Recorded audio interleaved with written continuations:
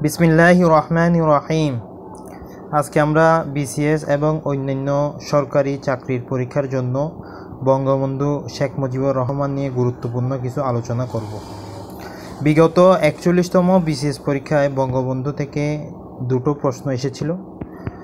প্রথম প্রশ্ন ছিল, লাহোরে অনুষ্ঠিত ওআইসি শীর্ষ সম্মেলনে বঙ্গবন্ধু কবে যোগদান করেন? যেটার উত্তর ছিল তেইশ থেকে চব্বিশে ফেব্রুয়ারি উনিশশো চুয়াত্তর। আরেকটি প্রশ্ন ছিল, বঙ্গবন্ধুকে কখন জুলিও কুরি শান্তি পুরস্কার প্রদান করা হয়? তেইশে মে উনিশশো বাহাত্তর। এখন আমরা বঙ্গবন্ধু শেখ মুজিবুর রহমানের কিছু গুরুত্বপূর্ণ উপাধি নিয়ে আলোচনা করব। উনিশশো একাত্তর সালের তেসরা মার্চ আসম আব্দুর রৌফ বঙ্গবন্ধু শেখ মুজিবুর রহমানকে জাতির জনক উপাধি দিয়ে ভূষিত করেন। দুই হাজার এগারো সালের সংবিধানের পনেরোতম সংশোধনীতে এটার স্বীকৃতি দেওয়া হয়। এরপর আমরা দেখি উনিশশো একাত্তর সালের পাঁচই এপ্রিল ইউএসের নিউজ উইক নামক পত্রিকার মধ্যে বঙ্গবন্ধু শেখ মুজিবুর রহমানকে রাজনীতির কবি বলা হয়, অর্থাৎ পয়েট অফ পলিটিক্স উপাধি দান করা হয়। এরপরে উনিশশো তিয়াত্তর সালের তেইশে মে, এটা বাহাত্তর হবে না, তিয়াত্তর হবে। বিশ্ব শান্তি পরিষদের মহাসচিব রমেশ চন্দ্র, জুলিও করি শান্তি পদক বঙ্গবন্ধু শেখ মুজিবুর রহমানকে দান করে। দুই হাজার তিন সালে ফ্রন্টলাইন পত্রিকার লেখক ডেভিড লুডেন বঙ্গবন্ধুকে ফরগটেন হিরো বিস্তৃত বীর বলে আখ্যায়িত করেন আমরা এটাও খেয়াল রাখব, দুই হাজার তিন সালে স্বাধীনতা পুরস্কার দেওয়া হয় বঙ্গবন্ধু শেখ মুজিবুর রহমানকে।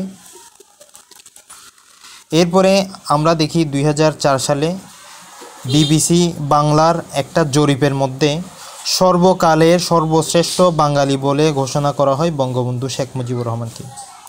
দুই হাজার উনিশ সালের ষোলোই আগস্ট জাতিসংঘে বাংলাদেশের স্থায়ী মিশন আয়োজিত সম্মেলনের মধ্যে বঙ্গবন্ধুকে ফ্রেন্ড অফ দ্য ওয়ার্ল্ড অর্থাৎ বিশ্বের বন্ধু বলে আখ্যায়িত করা হয় ষোলোই আগস্ট দুই হাজার উনিশ সালে। আর দুই হাজার বিশ সালে বঙ্গবন্ধু শেখ মুজিবুর রহমানকে গান্ধী শান্তি পুরস্কার দান করা হয়। এবার আমরা বঙ্গবন্ধু শেখ মুজিবুর রিলেটেড কিছু উক্তি দেখি।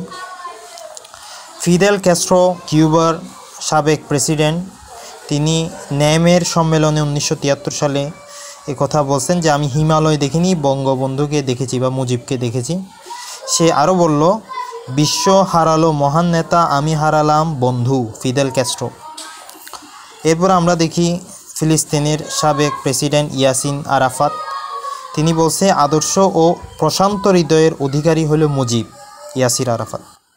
এরপরে আমরা দেখি ইন্দিরা গান্ধী উল্লেখ করেন যে, মুজিবের মৃত্যু এশিয়া এবং আফ্রিকার বেদনা। তারপর আমরা পাঁচ নম্বর দেখি, যারা মুজিবকে হত্যা করেছে, তারা যে কোনো জঘন্য কাজ করতে পারে। এটা বলে পশ্চিম জার্মানির chancellor Nobel laureate Willy Brandt, যিনি শান্তিতে নোবেল পুরস্কার পান। তিনি পশ্চিম জার্মানির উনিশশো ঊনসত্তর থেকে উনিশশো চুয়াত্তর পর্যন্ত চ্যান্সেলর থাকেন, অর্থাৎ স্বাধীনতার সময়ের চ্যান্সেলর। ছয় নম্বর, ভিয়েতনামের জনগণকে অনুপ্রাণিত করেন। এটা উল্লেখ করেন এনেথা কান্ডা। তিনি বলেন যে বঙ্গবন্ধু ভিয়েতনামের জনগণকে অনুপ্রাণিত করেন। সাত number, Sheikh Mujib, George Washington, Gandhi, Bannon এর থেকেও বড় নেতা। এটা বলেন ইউকের লর্ড প্যানাক ব্রুকয় এরপর আট নম্বর দেখি যে আওয়ামী লীগ নেতা, মুজিবের মতো গতিশীল নেতা বিশ বছরেও পাওয়া যাবে না। এটি বলেন হেনরি কিসেঞ্জার। তো এক থেকে আট পর্যন্ত যে সমস্ত বঙ্গবন্ধুকে নিয়ে উক্তি করা হয়েছে, এগুলো খুবই গুরুত্বপূর্ণ। এছাড়াও আমরা আরও কয়েকটা ম্যাগাজিনের বা নিউজ পেপারের উক্তি দেখব, নয় নম্বর। বঙ্গবন্ধুকে চতুর্দশ লুই এর সাথে তুলনা করা হয়েছে যে সে বলতো, বলতে পারতো আমি রাষ্ট্র, অর্থাৎ চতুর্দশ লুই বলতো যে আমি রাষ্ট্র বঙ্গবন্ধু চাইলে এ কথা বলতে পারতো যে আমি রাষ্ট্র। এটা ওয়েস্ট জার্মানির একটা পত্রিকা উল্লেখ করে। দশ নম্বর দেখি যে বিবিসি নিউজ উল্লেখ করে যে বঙ্গবন্ধুকে হত্যা করতে পাকিস্তানিরা সংকোচ বোধ করেছে, কিন্তু বাংলাদেশ আর্মি সংকোচ বোধ করে নাই, তারা হত্যা করেছে। এটা বলছে বিবিসি বাংলা। এগারো নম্বর, মুজিব না থাকলে বাংলাদেশ জন্ম নিত না। এটা বলছে ফাইন্যান্সিয়াল টাইমস এরপরে আমরা দেখি বারো নম্বর, শেখ মুজিব হলো একজন বিশ্ব বরণ্য ব্যক্তি। এটা বলছে নিউজ পেপার দ্য গার্জিয়ান। এরপরে আমরা দেখি তেরো নম্বর, বাংলাদেশে লক্ষ লক্ষ লোক মুজিবের জঘন্য হত্যাকাণ্ড অপরিণীয় ক্ষতি। যে ক্ষতি পুরা করা যাবে না, এটা বলছে ডেইলি রিখা চোদ্দ নম্বর, যিশু মারা গেছে একদিন মুজিব হবে যিশুর মতো। এটা বলছে নিউজ পেপার আকাশবাণী। শেখ মুজিবুর রহমানের তিনটা বই আছে। এক নম্বর, অসমাপ্ত আত্মজীবনী, যেটার ব্রেইল সংস্করণ বের করে সমাজ কল্যাণ মন্ত্রণালয়।